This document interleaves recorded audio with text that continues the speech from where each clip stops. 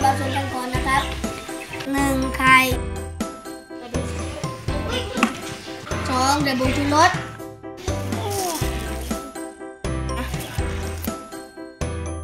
สามเดือกะปิลงไป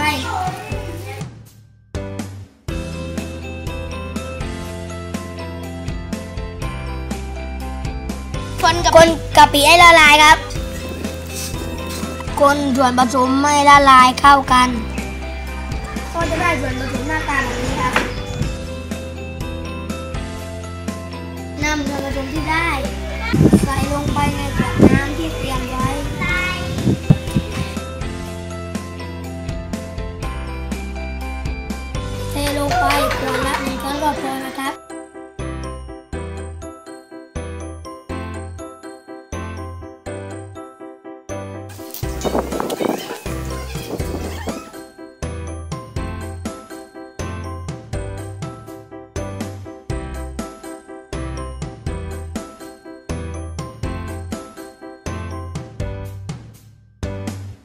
เมื่อใส่ส่วนผสมในน้ำแล้วก็เกลี่ยให้เข้ากัน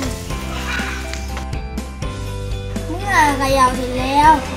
ก็นำขวดน้ำไปตากแดดครับ แล้วก็เขย่าทุกวัน แต่เช้าเที่ยงเย็นก็ได้หรือเช้าเย็นก็ได้ครับ จนกว่าจะกลายเป็นสีแดงครับ ก็เปิดฝาแก๊สออกให้หมดแล้วก็ปิดฝาครับ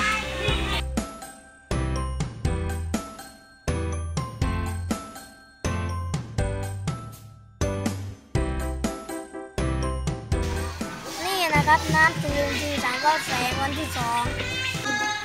น้ำจะเริ่มเปลี่ยนสีเป็นสีแดงอมส้มครับอย่าลืมขย่าขวดเช้าเที่ยงเย็น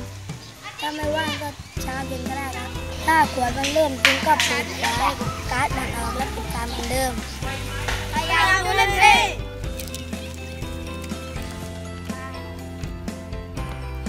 หัวเชื้อจุลินทรีย์ที่ทดลองทำบางขวดเริ่มเป็นบางขวดเริ่มเห็นเป็นสีแดง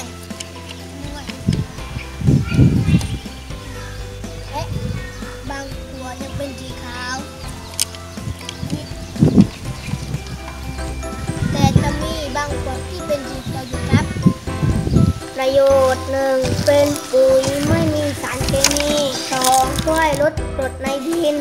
สามเพิ่มไนโตรเจนสี่ช่วยให้พืชเจริญเติบโตได้ดีทำให้รากพืชแข็งแรงหาอาหารได้ดีขึ้นปุ๋ยอินทรีย์สังเครามล้อ